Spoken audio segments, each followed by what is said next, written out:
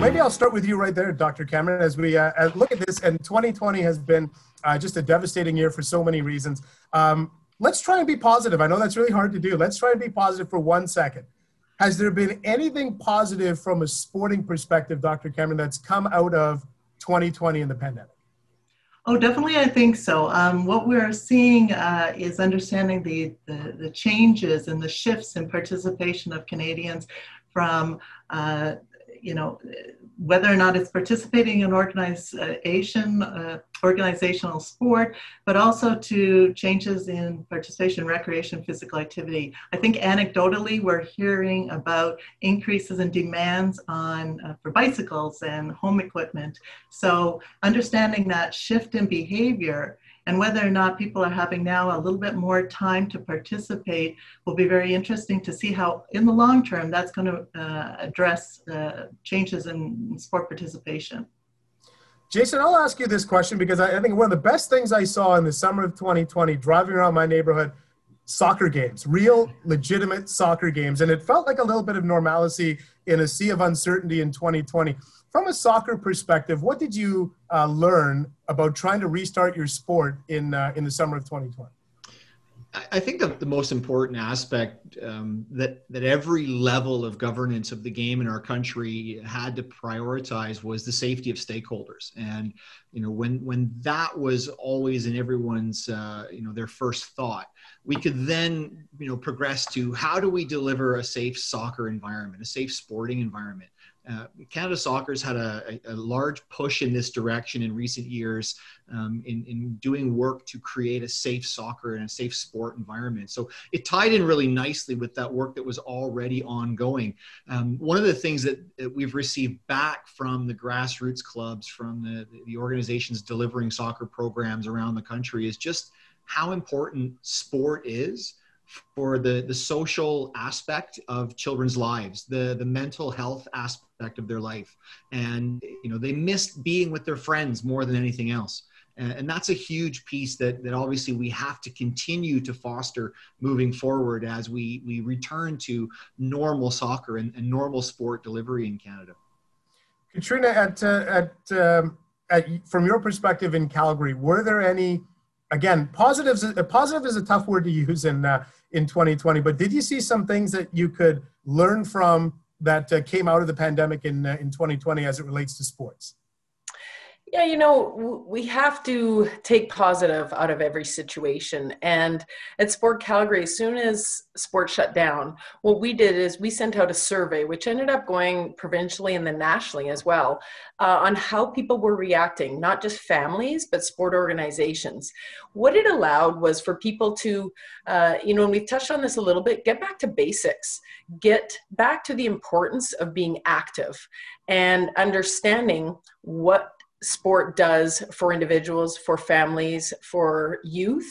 And it's that social side. It's not just the physical side, it's the mental health side. Because as soon as you take something away that's taken away, not because we want it to be taken away, taken away because it had to be, we all of a sudden realize the importance of it.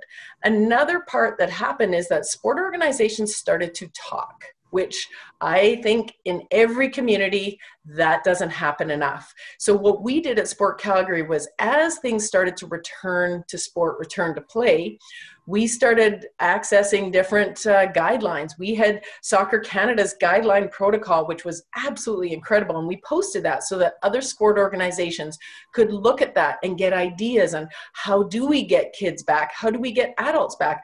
And, uh, you know, as was mentioned, in a safe environment. So it's allowed that conversation.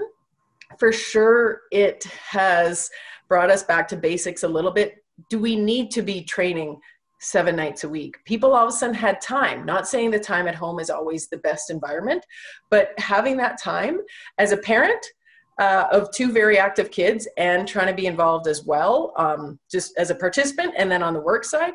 I all of a sudden had more time to do this stuff, and, and I love that. So I think we had to step back you know and that's what sport had to do was step back and look at the basics and we cannot forget that moving back into this return, we cannot get back into the same situation that we were in. We need to make sure that the safety of youth is important, but also the mental health side that we don't forget about that. You know, Charlene, I'd like to build upon what uh, Catriona just said because I think that is important. It's uh, um, 2020 hit a pause button, and we didn't th- think it was coming, but it's it's a great opportunity for us to look in the mirror at all sorts of um, uh, systems and infrastructure in the world, whether it's political, uh, you know, sporting related, and that's obviously what we're talking about today. And I want you, if you can, Charlene, to just chat a little bit about the idea of us maybe rethinking the way that we do sports, getting outside of the traditional approach to um, going back, and as Catriona said, going back and doing the same old, same old. We have to to, to rethink this. Oh, and I think sorry, Charlene, I'm going to get you to to unmute uh, unmute the microphone. There, there we go. Um, abs- absolutely. Uh, you know, in March and April, um, the sort of closure of sport had a profound impact on communities around Canada.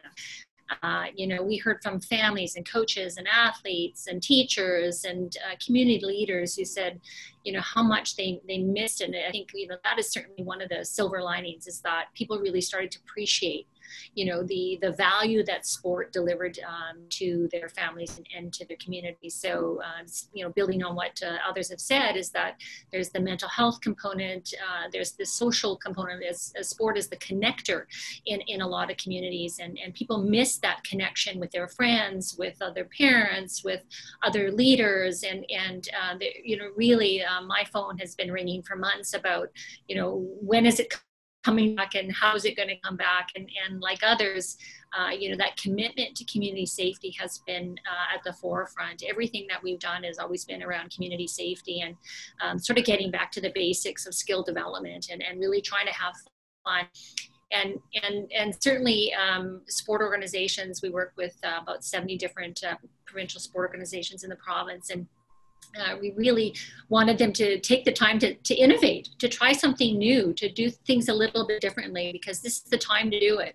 When um, you know the uh, requirements are, are requiring you to kind of step back. So how could we deliver sport in a different kind of way? And we are starting to see some you know innovation in terms of online delivery of, of training, in terms of connecting coaches and and uh, and athletes, and um, yeah, and collaborating between uh, different sport organizations. So it really has started to sort of influence how how we move forward.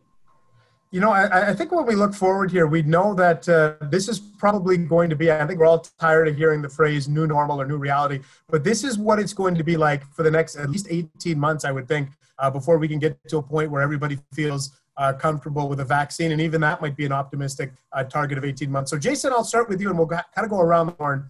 And the question I want to ask is about um, what are your concerns here? Like, what are the things we need to worry about? And like for me, I'm a, listen. I'm a ringette dad. I get to coach ringette. My biggest fear right now is that I, I, I coach 12 and 13 year old girls, and as everybody I think as well uh, knows on this panel, that's the age where we lose girls to sport at the best of times. Now we're adding a pandemic to it. I'm worried about the numbers. I'm worried about keeping kids engaged in sports. Jason, I'll start with you. What's your biggest concern or fear? And maybe it's retention of kids in soccer, but what, what's your concern in the next kind of 18 to 24 months? Uh, everyone's first primary concern has to be the safety and well-being of everyone the, the, the, kids that play the sport the coaches that deliver the sport the, the mums and dads who bring their kids to the arena the pitch the court uh, where, wherever they, they engage in sport that, that has to be the primary focus of everyone and if we can keep that at the forefront of our minds and and um, and, and really make a concerted effort to deliver that then I think we can reintegrate sport into our life in a way that is safe. And, and I think that's a real challenge for everyone. Uh, every sport provides uh, different benefits and, and also different challenges, I think, when it comes to the delivery of safe sport. Uh, and we, we saw that when sports started coming back online. It started with some of the individual sports that were already socially distant, where where you know whereas when you're playing a team sport like soccer there, there are some logistical challenges that come to the fore and also some technical challenges. But i think that you know again going back to that point of let's make sure first and foremost that everyone that's involved stays safe. Then we can start reintegrating the sporting experience into our normal life and hopefully you know maintain that balance between safety and, and the social and, and mental health well-being of all the participants Catriona, I'll ask you the kind of a very similar question again, just from from that perspective of the next, let, us call it 18 to 24 months. what's the thing we need to pay the most attention to uh, from kind of a grassroots sports level? Yeah, you know, it's it's for sure different whether we're talking NSOs or uh, because we're talking nationally PTSOs. Uh, most of the organizations that we deal with at Sport Calgary are local sport organizations. So a lot of them do not fall under uh, their PSO. So they are just independent. Uh, what's really come uh, and we've talked to the various levels of government about this, is that there is actually nobody in charge of local sport.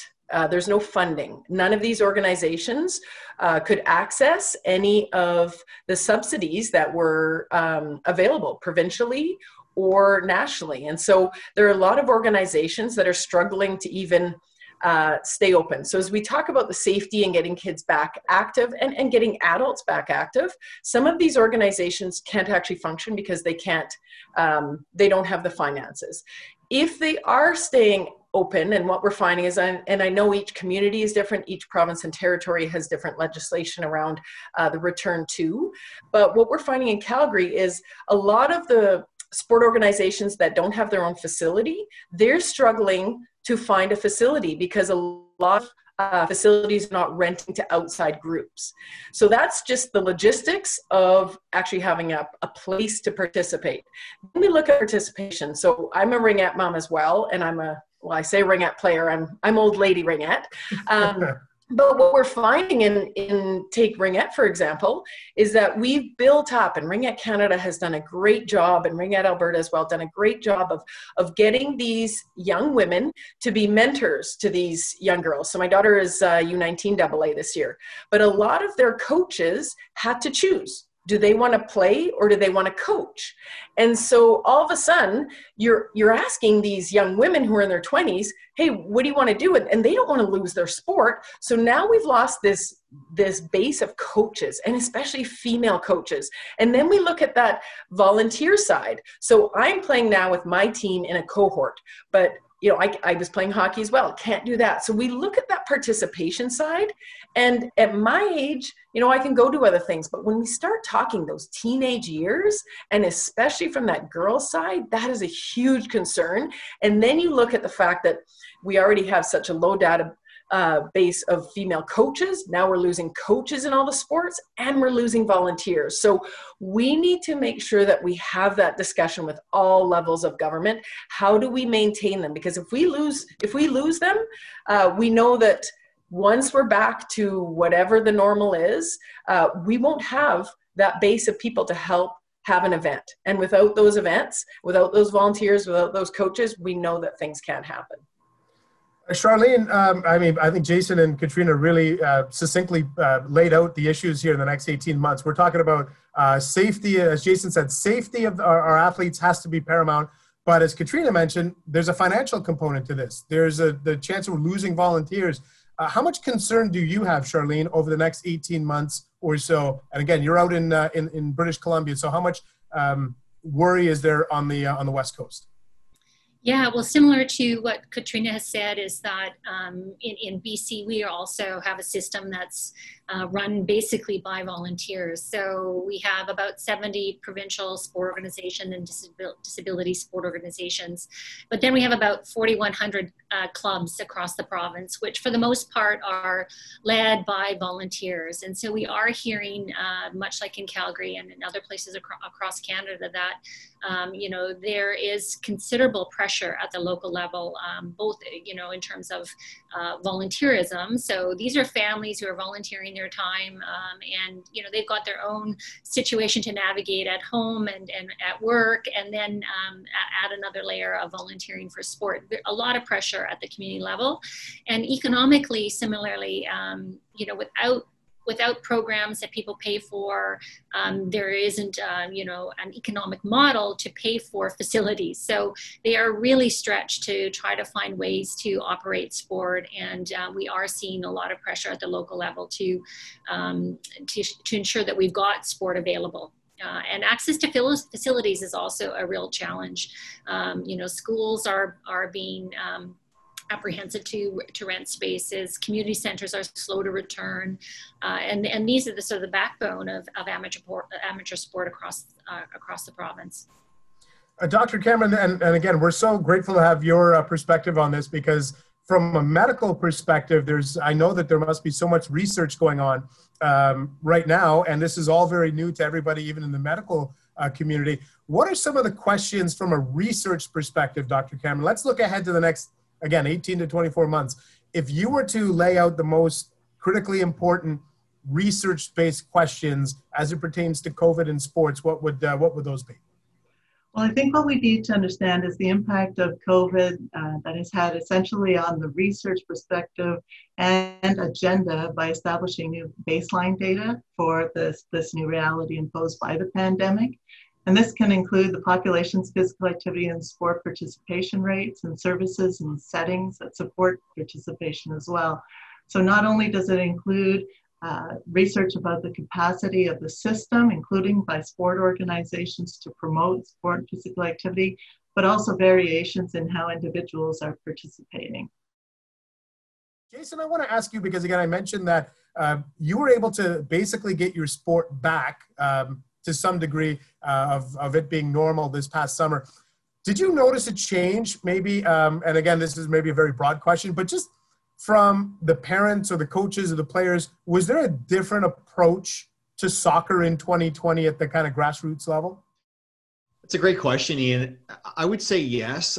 I would say people were a lot more considerate of others. it's probably a good way to put it.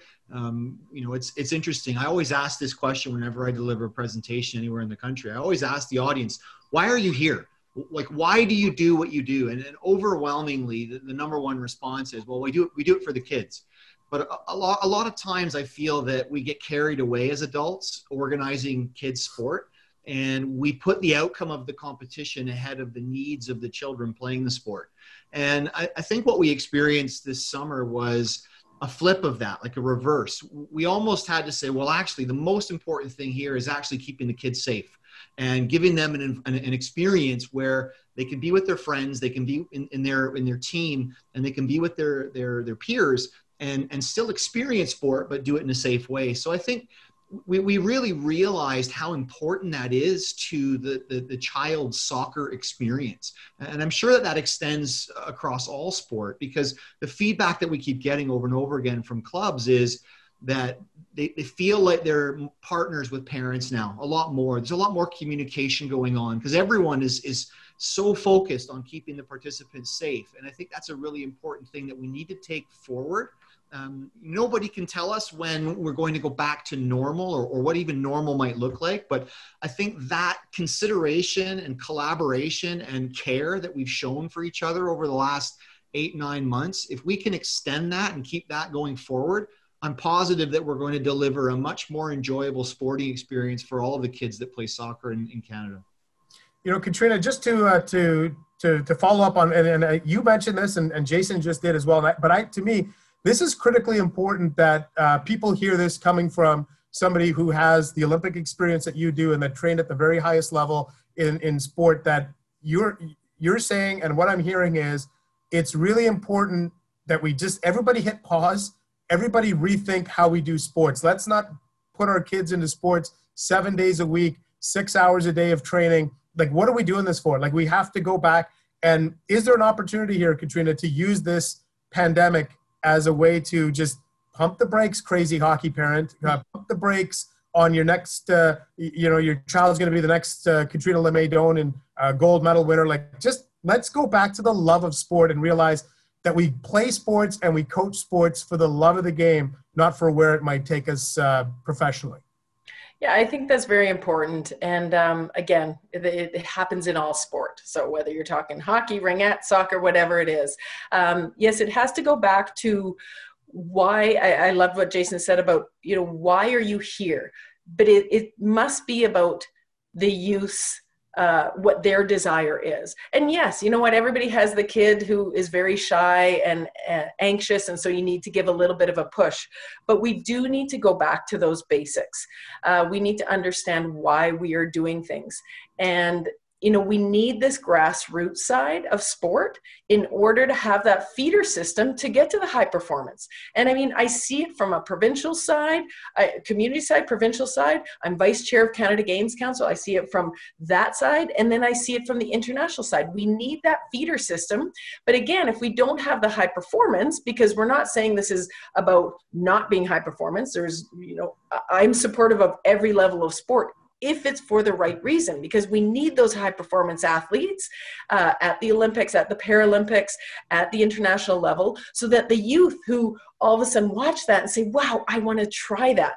But we need to make sure that it is for the right reason and that's where i say we can't get back into the um, you know the parents pushing it's about the safety as jason said it's about being um, aware of why we're of why we are on the ice, why we are on the field. There's been that increase about getting outside and getting active. There was a shortage of every, uh, you know, as was mentioned, every sort of sporting equipment. And, and that's an exciting thing because people wanted to be active. But let's continue to keep that passion going, but making sure that it's about the right choices and that you know what it needs to be is that the athletes, the youth need to have a voice, the parents need to have a voice. The parents need to then talk to the sport organization and say, no, this is what we want out of it. The communication cannot stop when we start in the return to. It needs to continue and it needs to continue both ways. Everybody needs to have a voice. You also need to have the ears to listen. Yeah, that's very well said. Dr. Cameron, I'll ask you a little bit about, um, and you've talked about the research and I know you've you've sort of uh, touched on this, but again, I think this this bears repeating.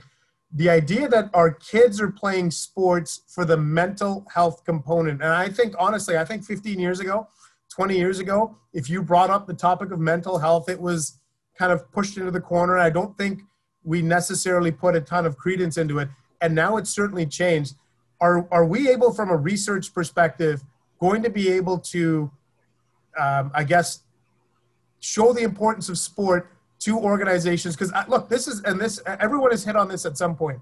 We're all worried about the funding of grassroots sports but i think if we can tie it into the overall mental health of our our youth i think we got a great chance of maybe getting some sponsorships maybe getting government funding. Um, are we able to basically connect those dots from a research perspective Definitely, we're starting to look at this, and, and there are several studies national, with the national-wide uh, research surveillance that's looking at this specific topic. So we're going beyond the physical benefits and certainly looking at the men mental benefits, uh, for even from looking at the extended periods of outdoor play as well uh, on physical activity on, on children's development. So um, we also need to understand other aspects beyond sport as well, looking at act, modes of active travel to school uh, and their participation within a safe environment as well.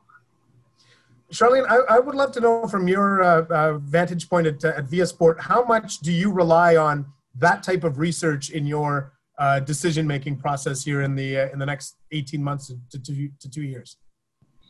Yeah, absolutely. You know, research is fundamental to uh, good policy and, and, and good practice. So I'm really excited about the work that's going on around Canada and internationally around the study of, you know, the value and importance of, of sport from, uh, you know, a physical and mental and, and social perspective.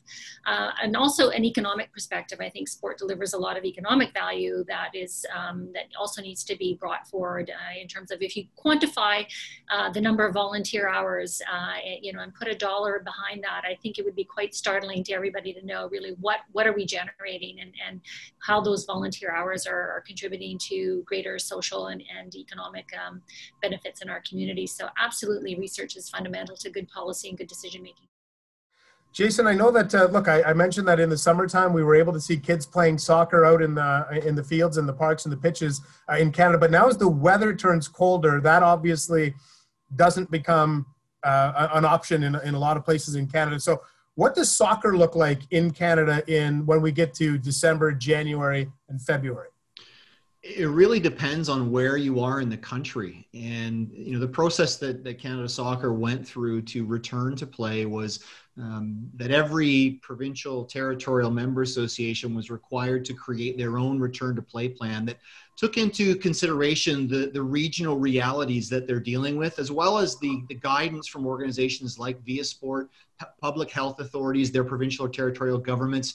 Um, everyone's different. You know, 10 provinces, three territories, they're all different, they're all unique. So you know when once the provinces and territories went through that process and they had their plans approved each of their clubs, their respective clubs, also then had to use a, a, tool that Canada Soccer developed online, a return to play assessment tool, which essentially gave the club or the organization, uh, uh, you know, a re- bit of feedback on their own individual return to plan. Obviously, when you're playing soccer outside, there's a, there's a lot more open air, a lot more space. Um, so some of the protocols there are maybe a little bit different. And you know what we're asking organizations to do as they transition to an indoor facility first and foremost, the indoor facility has to be um, uh, accessible. That's one of the challenges that we're seeing in some parts of the country is that some of the municipalities have said school gymnasiums, for example, are not open for uh, for rental like they normally would be. So that's a real challenge. But then there's also the, the protocols of getting the participants into the facility and getting them out of the facility and obviously keeping them safe along the way. So it's a pretty robust process. And, and I think what we're going to see uh, across the country is different stages of return to play. Uh, each of our provincial territorial member associations created multi-phase return to play plans, which, which is really important because it can't just go from zero to 100. We can't go from lockdown to full normal soccer for lack of a better term there has to be a sort of a gradual introduction that also allows you if the circumstances change to roll back to a previous phase of, of delivery and, and, and always looking at the safety of the participants as the key determining factor i know we're uh, we're running short on time here only got a couple of minutes left uh, so I know a big theme of uh, today is uh, all about collaboration, and, and we want to maybe talk about and, and delve into uh, how sports organizations can collaborate now. And maybe in the past, organizations were operating in silos, and maybe now it's a, a little bit more important to uh, to lean on each other. And Charlene, I'll start with you on that. The importance of collaborating with other grassroots sports organizations at a time in which you're all facing very similar uh, challenges and hurdles. Yeah, absolutely. Great question. So, um, you know, we, we saw collaboration as a really key part of, of how we developed the return to sport guidelines. So when we looked at the provincial return to sport guidelines, we felt it was necessary to collaborate with other provincial uh, agencies, those in, in recreation, those in facilities, um, obviously health and, and um, the Canadian Center for Disease, et cetera. Uh, so we did a lot of collaborating at the p- provincial level to really ensure that our guidelines were aligned with others so that there was strength in, in all of the work that we did. And then um, from that, we saw greater collaboration at the provincial sport organization level. So sports were working with each other to kind of learn from, you know, their uh, return to sport plans. Um, they were sharing. They were they, we had um, town halls and webinars where they were really trying to help each other, uh, you know, prepare their return to sport plans. And similarly um, at the at the local level. Catriona, in uh, in Calgary at Sport Calgary, what's the communication collaboration like uh, amongst all the various sports that are kind of under your umbrella? So right from the beginning, what we wanted to be, because uh, we don't run programs, but we're the voice for sport within Calgary, we wanted to make sure that the questions, uh, if we didn't have the answer, we were working closely with the city, with the province. Uh, we're also working closely with the uh, other sport councils within Alberta because we we had different uh, perspectives. Each sport council in each communities run a little bit differently on, on who runs the sports, who runs the facilities. So there was great collaboration. And as Charlie mentioned, as sports started the return to, uh, we were posting all the different protocols. I'd mentioned uh, that we had Canada Soccer uh, return to play protocol, which was a great example for other sports. We were also encouraging sports, you know, if you're both on a field, talk to each other, see how they're doing it. I know in Alberta, hockey and ringette were talking because it was similar. How were you going to work that within cohorts, etc. So we found that everybody was starting to work together. Sport in general does go into silos. I think people are worried about, well, I don't want to talk to you because what if you take one of my participants and they go over to you? At the end of it, what we want to make sure is that youth eh, that they're active and that they're involved in sport.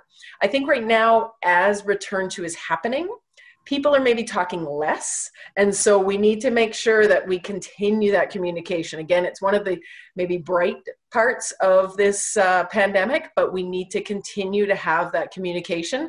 And that to me is what we as a sport council in calgary can do. We can be the the the sort of hub of this wheel of communication and so we try to encourage sports you have questions we can't answer it let's try to get the answers Jason, did you uh, do you think we're going to see more of that type of collaboration in the future? And I'll, and I'll throw it to you. Um, you came back this summer. Baseball came back this summer. Baseball Canada. Did you have conversations uh, with Baseball Canada or some other summer sports about how you would uh, come back and have a safe return to play?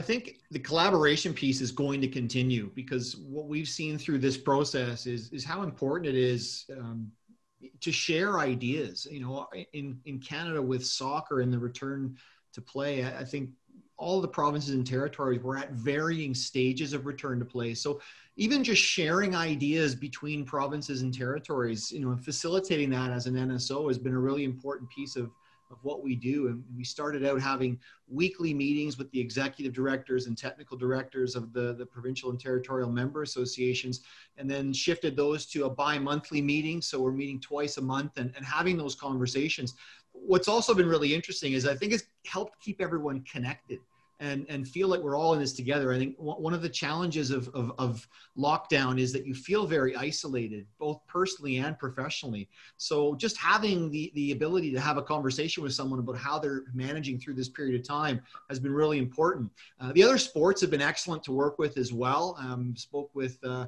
Hockey Canada was, was a great resource and has been for many years for us. And just sharing ideas and best practice, trying to make sure that we can do everything possible to keep kids safe as they're playing sport in our country.